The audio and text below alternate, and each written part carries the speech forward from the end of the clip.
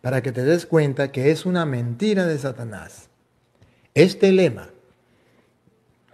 cree en el Señor Jesús y serás salvo, es una mala interpretación de la Biblia. No estoy diciendo que no lo diga la Biblia, lo dice el Señor y será salvo. Cree que Cristo es el Señor y será salvo. Es una fe en acción. La diferencia entre la fe del católico es una fe en acción. Si creo, obro. La fe de los hermanos separados, como ellos entienden, es creo y no obro. Ya soy salvo, listo. Ya. Así no es. Y eso es una interpretación satánica. Lo van a ver en las Sagradas Escrituras. Por ejemplo, en Santiago capítulo 2, versículo 19. En Santiago capítulo 2, versículo 19, nos viene a decir, hermanos, que es creer así, así como dicen los protestantes, cree en el Señor Jesús y será salvo. Y verán que eso es algo satánico.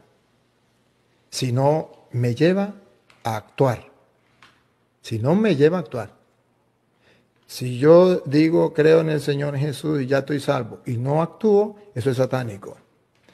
Yo debo decir creo en el Señor Jesús y actúo. Demuestro que creo en el Señor Jesús.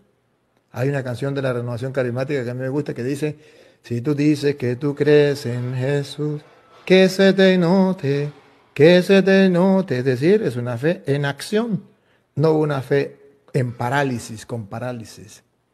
La fe de parálisis es satánica. Escuche, Santiago 2.9. ¿Tú crees que hay un solo Dios? ¿Tú crees que hay un solo Dios? Eso, cree en el Señor Jesús y serás salvo. ¿Tú crees que hay un solo Dios y eso basta? Ponga cuidado que no basta y que es una mentira satánica. Ponga cuidado.